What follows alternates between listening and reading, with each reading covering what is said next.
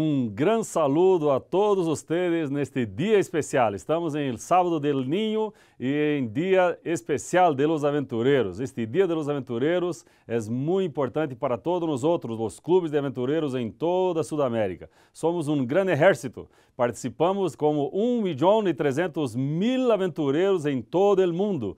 E só em Sudamérica somos 67 mil aventureiros quase 4 mil clubes de aventureiros. É uma oportunidade muito importante neste sábado compartilharmos nossas vitórias. E eu quero que você comparta sua foto de seu clube e também foto, um vídeo de seu clube, um saludo para outros clubes. Entre em nosso Face, em nossa página para compartilhar isto. Agora, para compartilhar isso. Agora, mais do que isto, quero dizer a vocês, cada igreja temos um blanco muito importante. Em cada igreja um clube. Se em tua igreja não há todavia agora um clube de aventureiros, então, vocês, por favor, invite os padres e madres e prepare para logo, logo teremos um clube de aventureiros em tua igreja. E para, tu, para tua igreja, que está agora me escutando e me e mirando acá, que tenha um clube de aventureiros, hum, congratulações, muito bueno. Estou muito contente por saber disto. E quero que vocês, aventureiros, sigam sendo felizes, porque este panuelo acá tem muito valor para nós outros.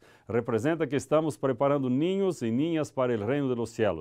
Cada um de vocês, neste sábado tão especial, que pueda abraçar seu hijo, abraçar sua hija, valorar nossos ninhos de 6 hasta 9 anos de idade, para que eles realmente sigam sendo valorosos aventureiros e que todos nós outros podamos estar preparando todos a eles todos estes para estar em reino dos céus. Falta algumas pessoas de entrar no clube, falta do hijo, então se invita ele e ponga em seu clube de aventureiros. E nos despedimos com nossa, nosso saludo especial.